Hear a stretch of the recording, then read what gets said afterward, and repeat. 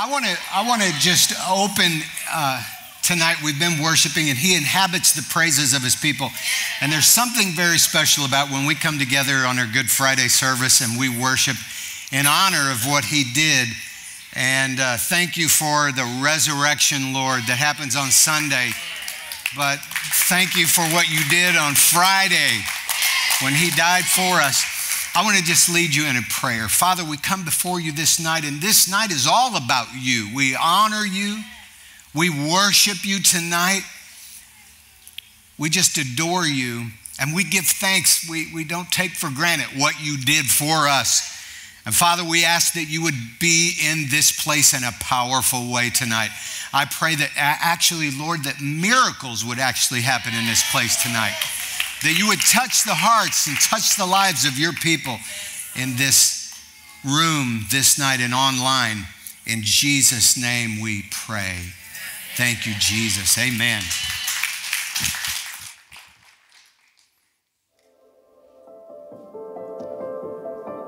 News had been spreading that the Sanhedrin was plotting to kill Jesus.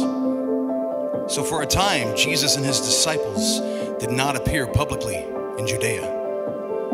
But at the time of the Passover, Jesus and his disciples made their way into Jerusalem.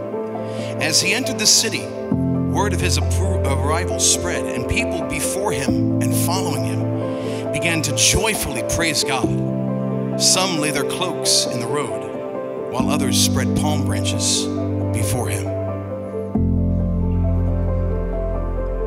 As he continued in, people began to cry out with shouts of praise and adulation.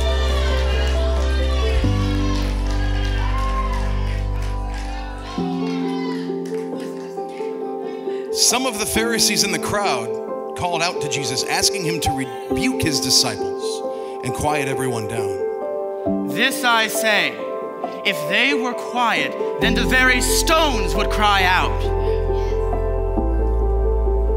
As he grew closer to the city of Jerusalem, Jesus saw the city and he wept over it. On this day, Jerusalem, you could have known that which would bring you peace, but now it is hidden from your eyes. Your enemies will rise up and build an embankment around you. It will surround you on all sides. You will be cast down, you and your children within your walls. They will not leave one stone upon another, for you did not recognize the time of the coming of your Lord.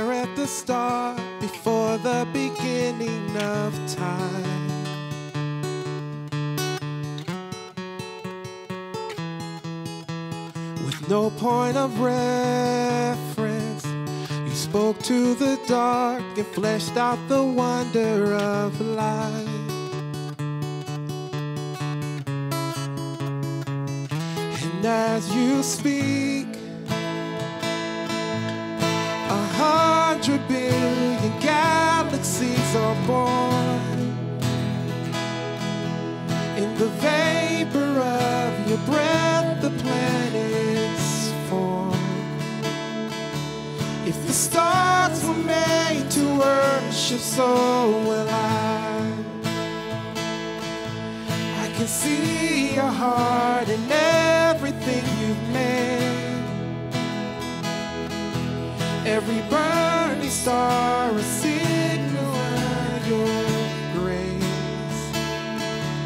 If creation sings your praises, so will I.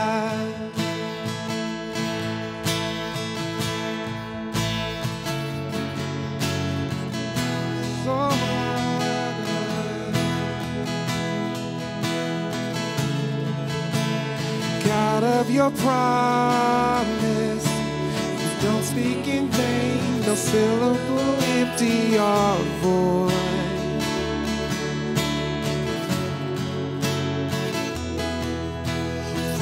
For you have spoken, nature inside silence follow the sound of your voice. And as you speak,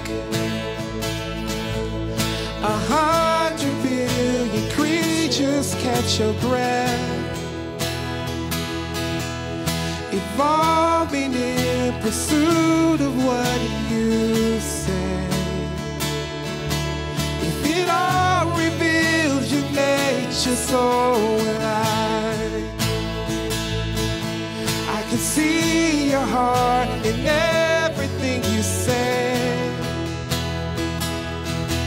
Every pain is sky, a canvas of your grace. Your creation still obeys you so alive.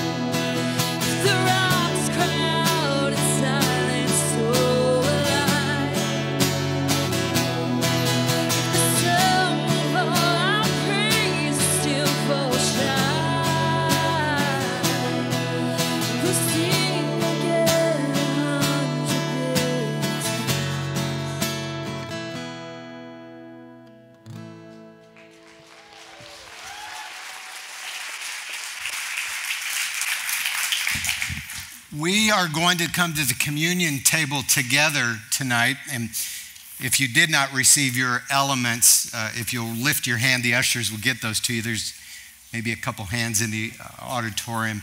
And, and I want to invite all of you that are online to, to participate with us. If you're uh, available to do that, get something and participate in the communion. Communion, the reason we do this is because Christ said, Do this in remembrance of me. He was and is the Passover lamb. And they were celebrating Passover. He was actually literally fulfilling the Passover experience. The Old Testament is amazing because the Old Testament, right off the bat, talked about the grain, the wine, and the oil and the offering. Four things. The grain is the bread, and the grain had to be crushed. The oil is the olive, and it had to be crushed. And the grape represents the wine, and it had to be crushed. And Jesus is the offering, and he was crushed. Isaiah 53. And so when he came along, and in John chapter 6, he began to teach this message unless you eat my flesh and drink my blood, you won't have any part of the kingdom. It freaked a lot of people out because they thought he was talking about cannibalism and he lost a whole lot of people. But what he was really referring to was the old covenant, Old Testament principle of the grain, the bread, the wine, the grape, and the oil, the olive, being crushed. And he literally was fulfilling the destiny and the prophecy of becoming the sacrifice so that you and I could have life. So when we come to the communion table, sometimes we can get in the habit of doing it in a religious way and just a religious practice.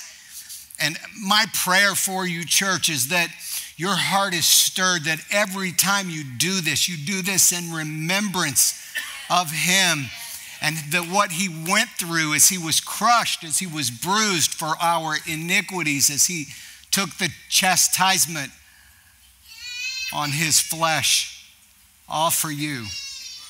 And so tonight, when we come together, I want you to take the bread.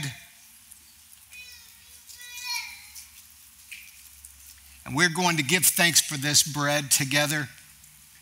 Lord, we thank you that you are the bread of life. You are the words of life. You are the living word that is alive in us. And when we, as your church, your family, your body, when we ingest this bread, your word is not just ink on pages, your word is actually alive in us because of your spirit. And so, Lord, we ask you to activate the power of the word living on the inside of us as we give thanks tonight. In Jesus' name, let's eat together. Thank you, Jesus. This cup represents the wine. And let me just share this with you. Because of the blood of Jesus, not only are all of your sins forgiven, but the guilt and the shame associated with all of your sin is removed. And the past sins are gone, and the present sins are gone. And by the way, the future sins of everything that you'll ever do wrong have been paid for in full because of the blood of Jesus. And when he went to the cross, he paid for all of that, but he also established something called a covenant with you. And that covenant is something that's alive and active in our lives today. It's what attaches us to the promises, the 7,000 plus promises that are in Scripture are available to you because of the blood of Jesus.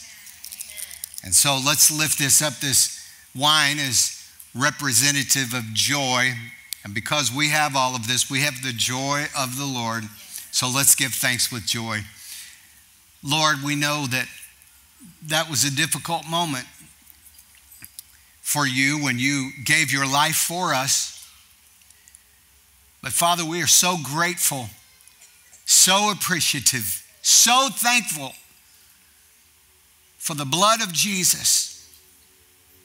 And we give you thanks tonight as we drink together in Jesus' name.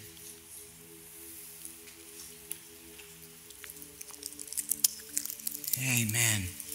The usher is going to pass some buckets. You can drop your cup in the bucket. I want to encourage you, just worship with us.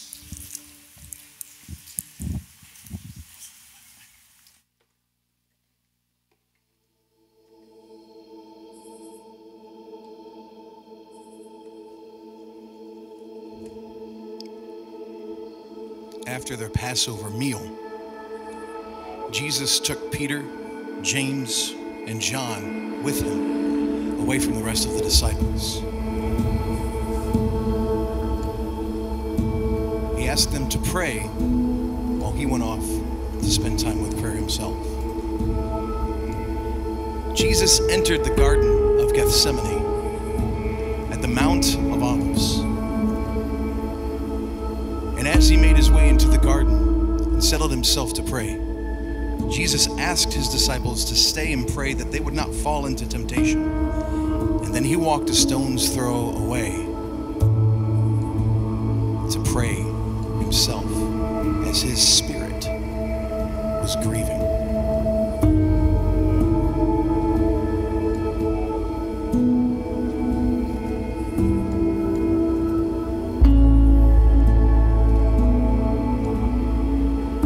Father, my spirit is overwhelmed to the point of death. I know that through you, all things are possible. Absolutely anything is possible through you, Lord. Please, if it is your will, if there's a way, please take this cup from me. But in any case, Father, let not my will, but your will be done.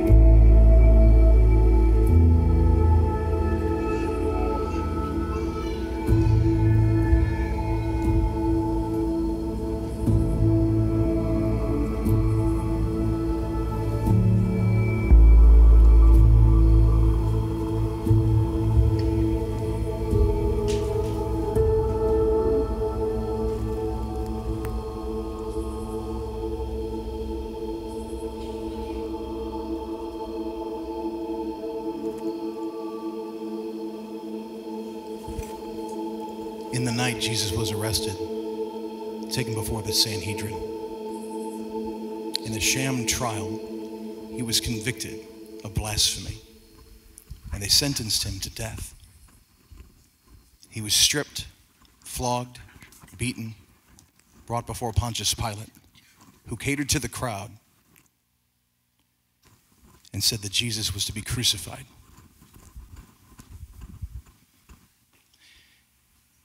On the day of his crucifixion, after he had been tried and flogged, mocked, and beaten, he was given a cross and he was led up to Golgotha to be crucified. Upon the cross where Jesus was to be hung was fastened a sign that Pilate had made in Aramaic, Latin, and Greek. The sign read, The King of the Jews. Many Jews saw the sign, and the chief priests protested to Pilate, asking him not to display it. But Pilate answered simply, What I have written, I have written.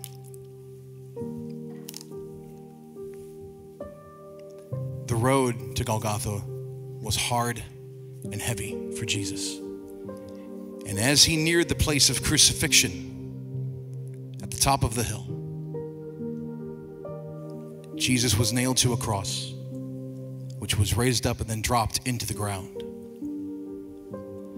Some soldiers took Jesus' clothes and divided them, casting lots to determine who would receive what, as is referenced in the scripture in Psalm 22. Those who passed by him as he was hanging there mocked him, laughed at him, hurled insults at him, shaking their heads, saying, You who are going to destroy the temple and build it again in three days, save yourself. If you are the Son of God, bring yourself down off that cross. The people continued to mock him and insult him. Some even mocked his claims to be the Son of God. A darkness covered all the land. And Jesus hung on the cross for three hours. Watching nearby was his mother, his mother's sister, Mary of Magdalene, as well as his brother, whom the scriptures referred to as the disciple Jesus loved. And near the end of his ordeal, Jesus let out a loud cry, Eli, Eli, lema sabachthani, which means, My God, my God, why have you forsaken me? Many watching believed him to be calling Elijah. And when the time of his death came, Jesus cried out again, saying, Father, into your hands I commit my spirit. When he bowed his head and died at that moment, curtain of the temple that hid the Holy of Holies was torn in two from top to bottom. The earth shook, rocks split, and tombs broke open. The bodies of many people who had died were raised to life. They exited their tombs and went into the holy city, appearing before many people. And when the centurion who was guarding Jesus saw the earthquake and all that had happened, he praised God, saying, Surely this man was the Son of God.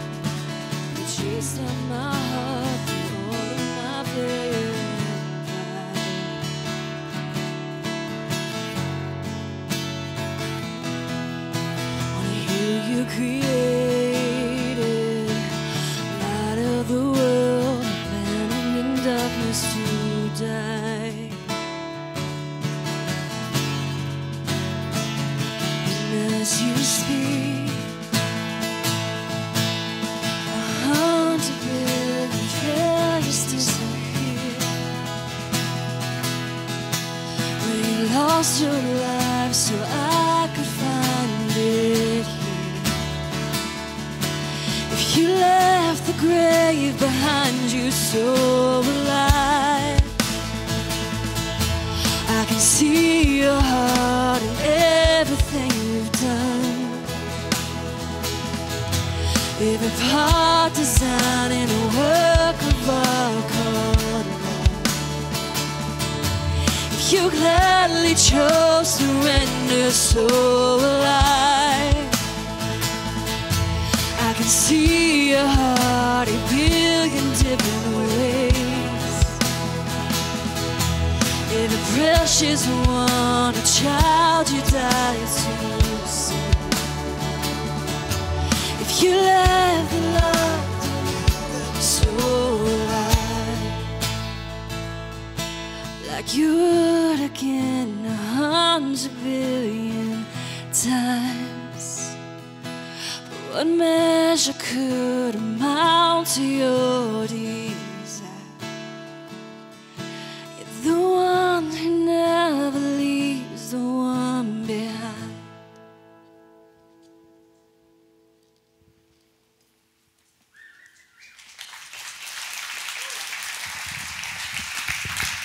Amen. You know, I want to make a few comments about the garden because isn't it amazing that the whole reason we are in this sinful state that we are in as a world is because of what took place in a garden involving food.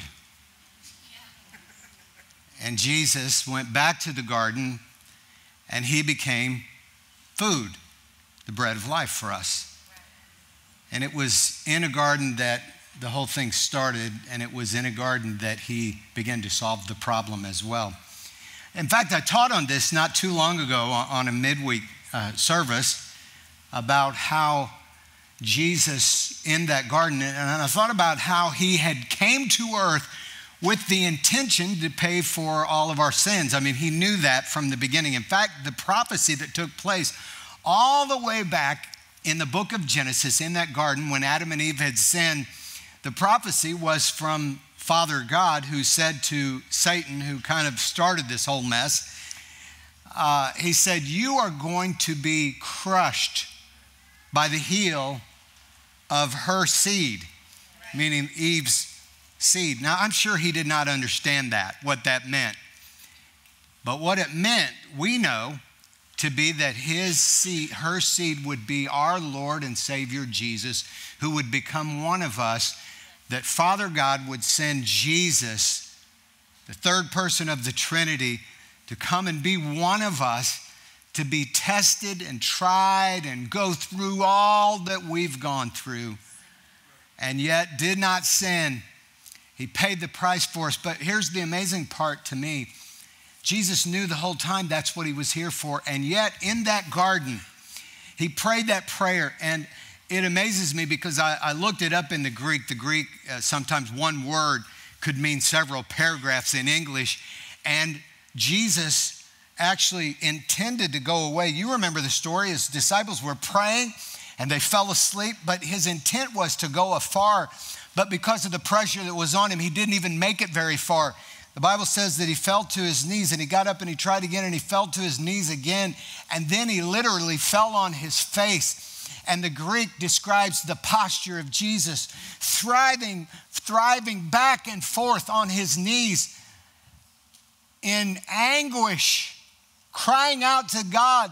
And I, am sure you can relate if you've ever gone through a hard time in your life, maybe where the phone rang or uh, bad news happened and you did not want to be in the situation you're in. Now, here's the good news I'm glad that Jesus did that for us because it was the first time that he shed blood, which there would be eight other ways. Some people say seven, but there's, there's eight. He sweat great drops of blood because of a medical condition that doctors call thrombosis, and it's when the blood from pressure actually builds up and separates the layers of skin and builds up and then mixes with the sweat glands and comes out the sweat glands. And a person that is under extreme pressure can actually bleed drops of blood because of the separation of skin. And here's what I believe that it meant for you and me is that when Jesus did that, that he literally was leading the way for us when we struggle with our will. And no doubt in life, we have many times where we, we know we're going to do this or we're supposed to do this, and yet our flesh goes, oh no.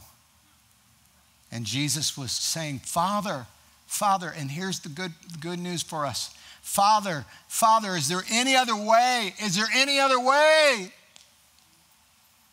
Nevertheless, he said, Not my will, your will be done. And it was there that he paid the price for your willpower. When you're weak in willpower, guess what? He paid for it. And the other seven ways that he paid for you it doesn't matter what area of life you're in. It could be uh, your work life. Well, your work life is associated and affiliated with your hands, everything you put your hands to. And guess what? He shed the blood at his hands. His feet represent the walk everywhere you go, the walk, the journey of life. And guess what? He paid the price because he shed the blood from his feet. Relationships aren't always easy. And when he was pierced in his side, his heart was pierced. Guess what happened? He paid the price for broken hearts, for crushed dreams. Have you ever had mental anguish? He wore the crown of thorns on his head, and he paid the price for the anguish of our mind and the thought life that we have. Think about that. I told you there was eighth way. Well, the, well, two more ways, and that'll be eight. One was he was bruised internally. And I believe that those bruises paid for the internal iniquities and the internal stuff that nobody knows about that you go through, the addictions, the struggles, the, the trepidation of life. Maybe it's fear, maybe it's worry, maybe it's anxiety. And the good news, church, is that he was bruised. He was beaten on his back and he bore the stripes for your physical healing and your emotional healing. But when he carried the cross, this is the eighth way that a lot of people kind of missed this one, but he did. He carried that cross on his shoulder and the blood on his shoulders. He switched the cross from side to side, and on that road, the load became too heavy for him, and he dropped to his knees and ripped his knees open. He had his shoulders. And I really believe that that represents the weight that you and I go through in life, that sometimes the burden becomes too strong. Sometimes it's too heavy to go through what you go through. And it's Jesus that carried the. In fact, Jesus said, Come to me. Jesus said, Come to me because my burden is easy and it's light. Church, I want you to know He's covered every area, everything. There's not one thing that you're going through that Jesus hasn't paid for, that hasn't been through, that hasn't been tempted in. And, church, He overcame. He's victorious, He's successful. And because of it, that's why, because of it, the phrase in Christ, in Christ, your success happens in Christ. Your victory happens in Christ. You overcome in Christ. And the reason we come to church and the reason that we worship the way that we do and the reason that we, we don't just come to church on Christmas and on Easter is because it's in Christ, in a relationship with Christ, that we obtain the victory that He paid for. It's, and then because he paid for it and he paid for sins, it's now that the Holy Spirit can be received into our lives. And because the Holy Spirit lives on the inside of us, church, He leads us, He tugs on us, He nudges us in the right direction. And he gives us wisdom and he gives us counsel and he gives us advice. Come on, isn't that awesome? Listen, listen. I know we go through so hard stuff still. We live in a fallen world, a broken world, but because of what he did on that Good Friday, we have the victory. We have the success of life. And listen, this thing is so this thing is so short. This thing life is so short that sometimes it seems like it's going to last forever, but it doesn't. It, it's over in a heartbeat, and the death rate is averaging at 100%. And we laugh about it, but it's a little bit scary. And the reason it's scary is because none of us have experienced death yet, right? I'm always tempted to say, except that one guy back there, I think. But none of us have experienced death. but someday we will. And what we've done with what He paid for determines how we will live the rest of eternity. And, church, before we go, and maybe, maybe you're already full blown all in, but maybe you're here tonight and things aren't quite right and you haven't made it right, you can do that. I won't embarrass you, but I do want to give you the opportunity to make it right tonight by receiving Him now, I'm going to ask you to raise your hand in just a second, but that's the only thing that I'm going to ask you to do besides pray a prayer. But the reason that I'm going to ask you to raise your hand is because the scripture says when you confess, and that's going to be your confession of faith because we're in a big crowd, is when you confess that you're receiving, you'll just show me your hand and you'll put it back down, and I'll lead you in a prayer, and you can pray that prayer by faith. You will be able to receive all the forgiveness of your sins, past, present, and future, you'll be able to know with confidence that the guilt and the shame associated with all the wrong you've ever done in your life has been removed. You'll be able to know with faith and with confidence that you will live in eternity together with Him and with us, and that heaven is not a place where there's just naked babies floating around on clouds. That, that's, that's the other place.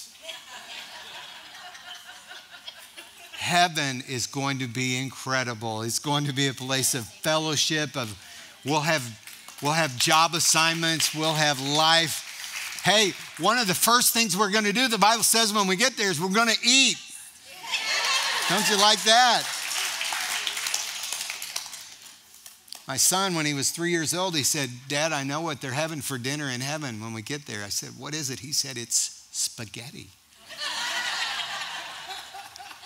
I asked him how he knew, and he said that the Lord showed him. It's all right. All right.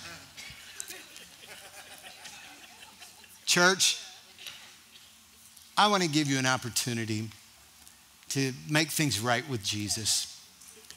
And I won't, I told you I won't ask you to do anything different than raise your hand, but I'm, what I'm going to do is I'm going to count to three. And if you're here tonight and you want to make things right with Him, I want you to just sh- show me your hand and put it back down. And if you're online and maybe you're going to pray that, you know, shoot me a message there online on, on the registry. You can let us know that you're praying. This could be the day for you that your life just goes totally in a different direction, the right direction, the one, the path that God has prepared for you. The book of Ephesians says that He has prepared a good path for you. If that would be you tonight, I want you to be bold about it. I want you to, you know, don't be ashamed of accepting Christ. There's something incredible that happens when you say, Yes, I'm all in. I mean, it's powerful. So, I'm going to count to three, and you just show me your hand. Then you can put it back down, but make sure I get to see it, okay? On three. Online, uh, this is for you guys too. On three. One, two, three. Just lift your hand up. Let me see your hand. Yes. All right, you can put them down.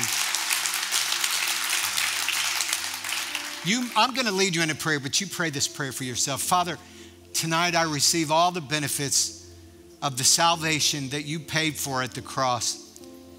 This is a good Friday for me because of what you did on that day, carrying the weight of all of my personal sin, paying the price so that I could have life and have it in abundance, that I could have eternal life, and that the rest of this physical life here on earth could be a life of destiny and purpose. I thank you. I invite you into my heart. I ask you to fill me with your Holy Spirit. And I ask you to lead me and to guide me in all that you'd have for me. In Jesus' name, amen. Welcome to God's family. Welcome to the family. Now, if you pray that prayer, make sure at the end of the service you go back to the VIP area. There's a little monitor back there uh, where we've got some announcements playing. But back at the back, we have a book called What's Next. That's a gift to you. Just pick one of those up. It's a gift. And by the way, if you're here for the first time and you've never been here, we have some gifts for you back there, and uh, they will uh, they'll bless you. You'll want the gifts for sure. One of the one of the traditions that we do here at Enjoy Church at a Good Friday service is we worship the Lord with our offering. And the reason we do that is because you know, a lot of people view offering as a moment where maybe we throw, throw some change or a $5 bill or a couple bucks in the bucket, help them pay the light bill, right? And that's not the purpose of our offering. The purpose of our offering, the scripture teaches us, is always an expression of our heart, a worship, a heart of worship to God and what happens is when we put God first, we honor Him. It's not that we owe Him anything because we can't pay a debt that we, it's been paid for by Him. So you don't owe it to God. You're not under obligation where He's got your arm twisted behind your back and He's saying, Give me your money. And believe me, the church isn't saying, Give me your money. But we are always leading you to give God your heart. And the first place where your heart goes is where your money goes. And that's why Jesus made that famous statement.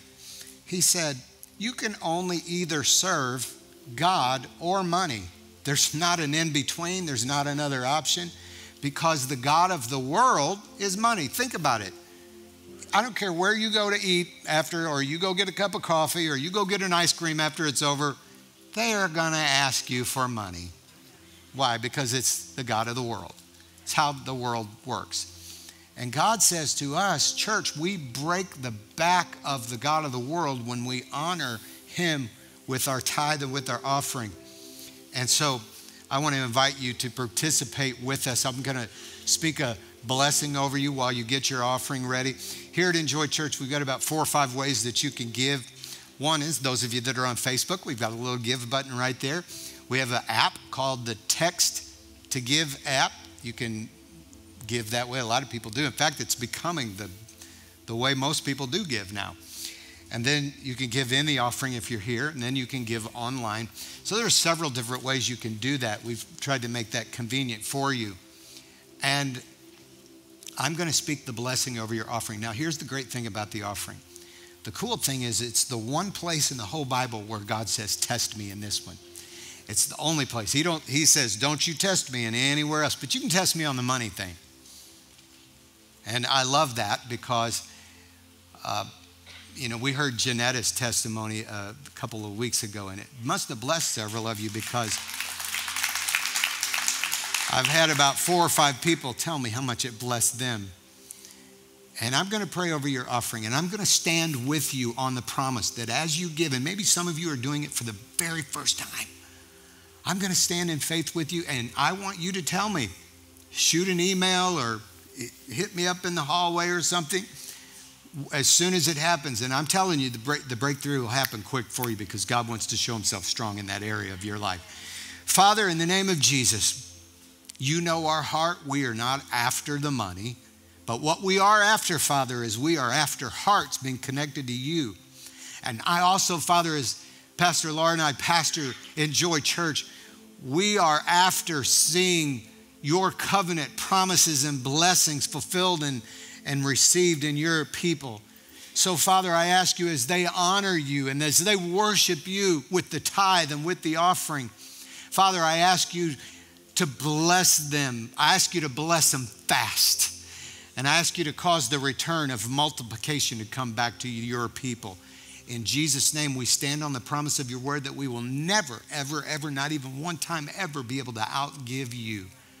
So we declare those promises are ours. In Jesus' name, amen. Ushers, you can go ahead and come forward. Amen.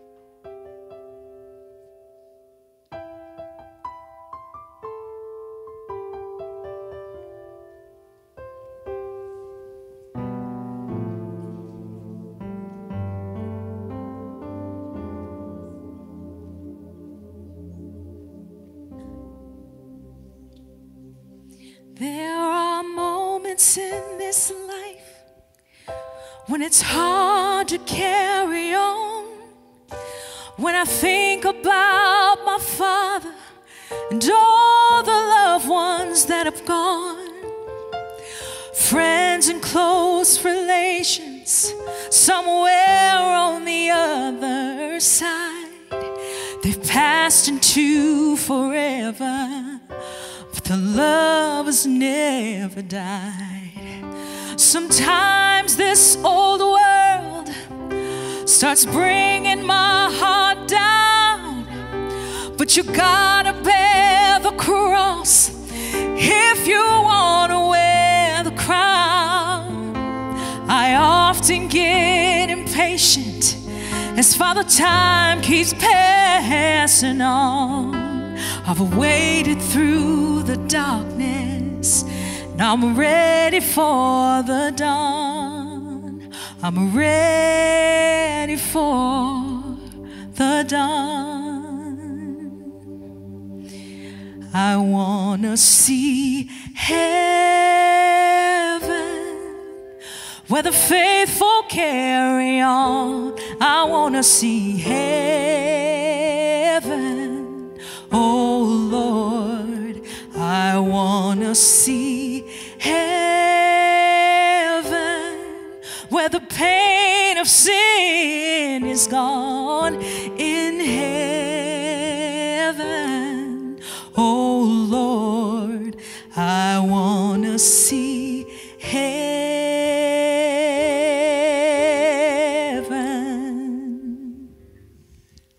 As I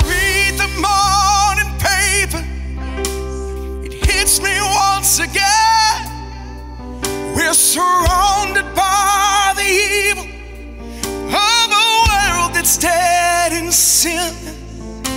And the only sane conclusion that my crazy mind can reach is to set my heart on heaven and to live the things I preach. So I'm living every moment as if this day was my last. Put my treasure where my heart is and forget about the past. And if Jesus comes tomorrow, I'll be ready to depart as he leads me to my mansion. I'll be following my heart. I'll be following my heart. I wanna see heaven where the faithful carry on. I wanna see heaven, oh Lord. I wanna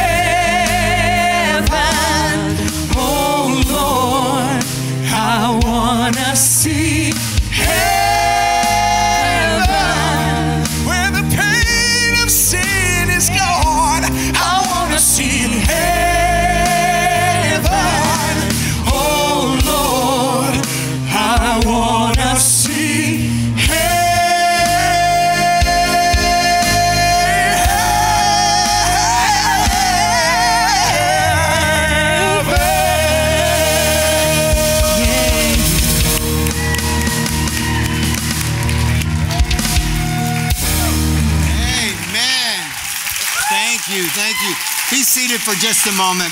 One more moment here. A couple of the things I want to mention to you. First of all, thank you so much for being here. I hope you're all coming back for Easter weekend. Uh, we're going to have some awesome services planned, some special stuff. It's going to be incredible. Bring your friends. It's easy to get people to come to church on Easter. That's the easiest time in the world. Get them to come. And then the week after Easter, is the one we want him really to come back to because that's the one that's going to hook him. I believe we're going to do a series, and this series is called Is God Really Good? Now, the reason we're going to do a series called Is God Really Good is because that's a question, a true, real, legit question that a lot of people are asking. Is God really good? I mean, it's easy to ask that question when you look at the broken world we live in or some of the things that we go through in life. Is God really good? That's going to be an awesome series. So bring him this weekend because it's easy to get him here. And then we'll hook him for the next series and we'll see lives changed as a result of that. And so it's, it's really going to be a lot of, a lot of fun.